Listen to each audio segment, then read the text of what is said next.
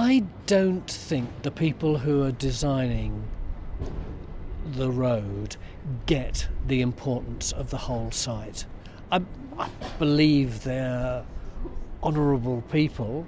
I believe that they really want to protect both the stones themselves and, as it were, the, the look of them from a long way away.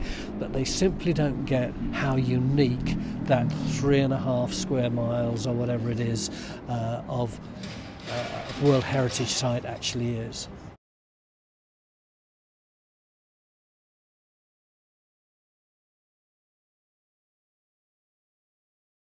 I think there's a real moral responsibility to look as widely as possible at the options, uh, and it seems we've ended up with quite a narrow range of, of how do you want your tunnel almost choices. I felt it was really important to come to London and to meet with people that may well be you know, just hoodwinked on the fact that there's an expressway for the West Country, um, not appreciating perhaps how significant the landscape is where they're proposing to plough a tunnel the real Stonehenge is not just those stone monuments, it's the whole area around it, which is an, an essay in, in the complex interaction of uh, Mesolithic and Neolithic people. It's, uh, uh, it's it's unique and uh, you can't replace it.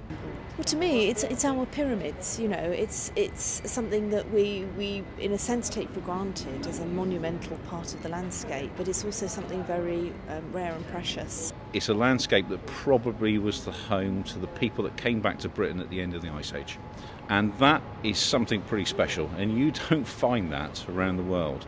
We can actually still investigate, we can still look at, and we can still try to piece together why Stonehenge is where it is.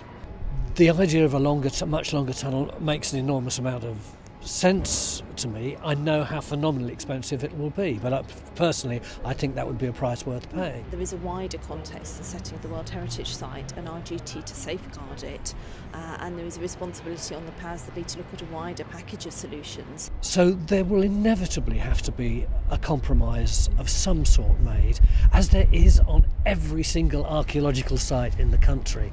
But what that compromise shouldn't involve, as far as I'm concerned, is the World Heritage Site.